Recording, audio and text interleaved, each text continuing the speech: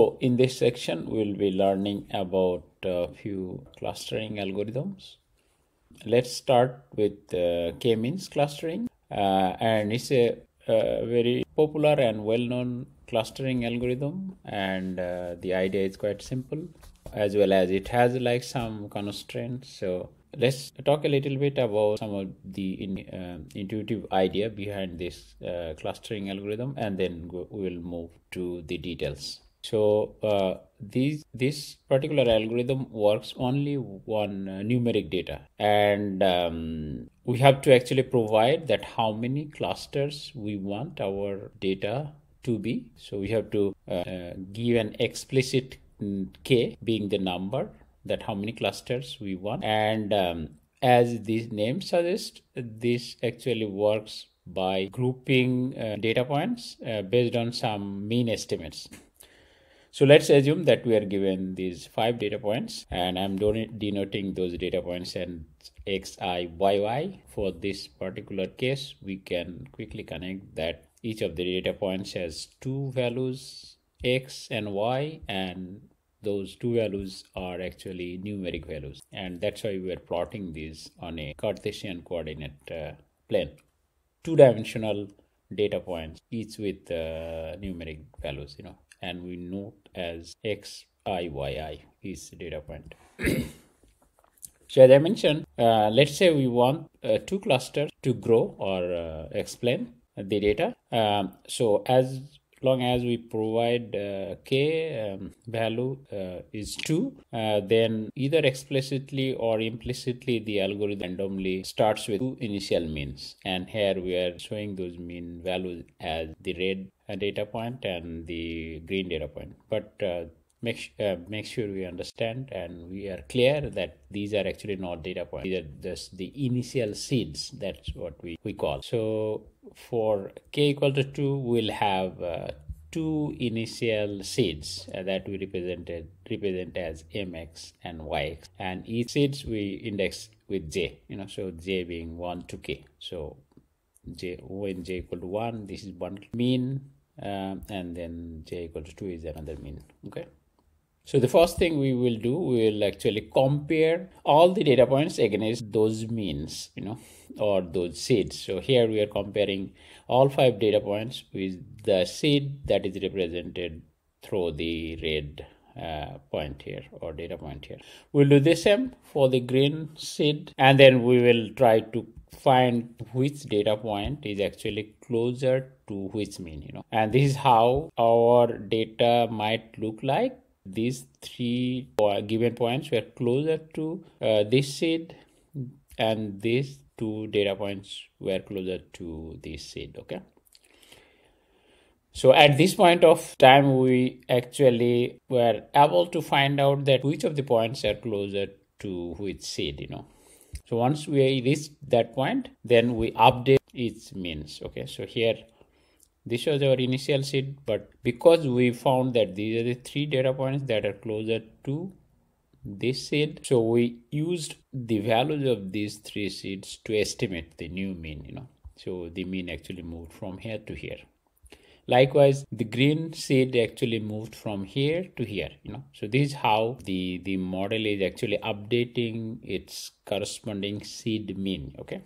So this is how things are represented here. So i have a new mean that is actually the summation of all the x i values that were closer to the initial seed. And then i update the mean axis you know so here uh, if you recall that uh, this is one of the seed and we are actually estimating the new mean value per axis you know. So this is the mean update for axis xi and this is the mean update for axis yi and here we are just uh, representing that how the red seed moved to its new location and how the green seed moved to its uh, new location by using this formula okay? And uh, this is the seed uh, status after the first iteration and we follow uh, the, the same procedure so we iterate. So again the idea will be that now we compare which data points are actually closer to this uh, new updated mean and redo the estimates of the means you know that's the that's an iterative process you know. Okay so how, how long we actually iterate you know. So the iteration will finish um, if the means doesn't move at all you know. So at some point you will have that these moons actually doesn't move you know they remain at the same uh, location. That means that, uh, there are no uh, level changes happening even we iterate uh, over times you know. Uh, so we can think that is the end of the learning uh, process. And the other option might be that we just uh, run this uh, up, uh, mean updates iteration for a predefined number of times you know and this how this is the likely configuration as an output that these three data points were assigned the green cluster and then these two data points were assigned the red cluster you know.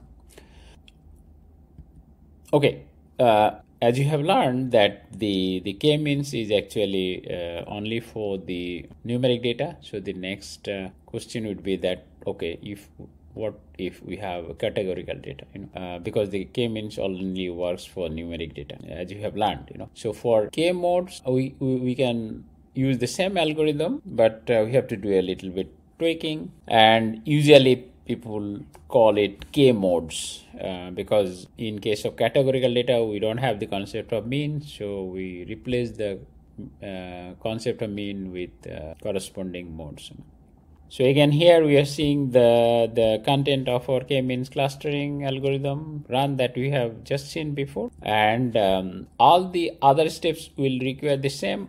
Only mm, uh, we'll have the idea of modes replacing the means you know. So if you recall for this particular setup we had uh, we wanted to have two clusters. So we provided two means. For the k modes we will provide two initial modes as our seed of the corresponding clusters. And here again we'll do the comparison against those modes and the data points and we will update the mode you know, uh, based on the the distance distances uh, measured you know. So um, for the numeric case or k means we will use distances like euclidean distance or l1 distances and for the categorical data you can just use the the count value counts you know as the distances you know.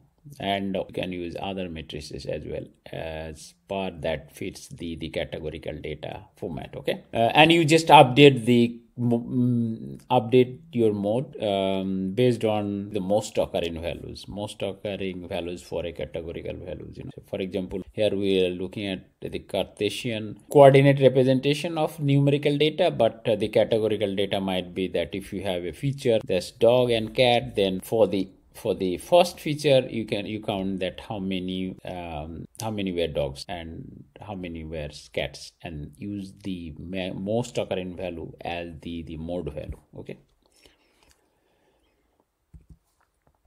next we'll be discussing that okay what if we have um, mixed values? your feature both has uh, categorical values and numeric values. So uh, there are many approaches to solve this issue. One might be that you convert all the features into one type. You, you might convert the categorical features to numeric feature using uh, encodings like one hot encoding or maybe like other encodings. Or you can go the other way. Like for example you can convert the numeric data into categorical by just binning you know. Binning meaning that you just uh, group the numeric values. For example if you have age as your numeric feature then you can group the ages between 0 to 10 10 to 20 whatever way you feel comfortable or maybe like your application actually guides you and then use those bins as a categorical data you know. So again if you have mixed values then you have to convert all the features into one type either from all the numeric feature to be categorical or the categorical feature to be numeric.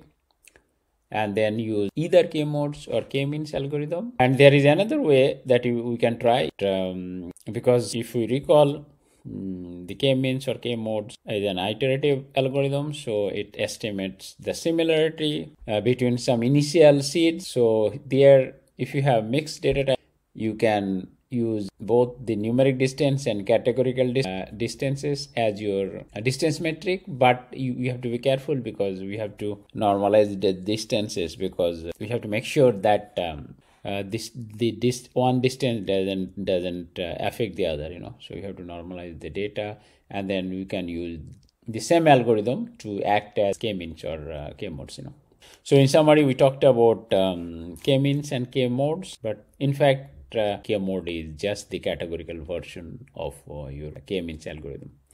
If you have mixed data, then we have to either work in the feature level that we convert all the features into one type, either into categorical or numeric, and then use either k mode or k mean, or we can work at the algorithm level by keeping the features as they are but uh, playing a trick. One is that how do we estimate uh, these means or modes and how do we do the um, comparison you know? So how do we update the means or mode and how do we estimate the distances you know? If we can utilize certain metric and certain approach that will um, take care of these two steps in a more normalized way then i think uh, we can still use the same algorithm to work on a data set when you have mixed uh, categorical and numeric data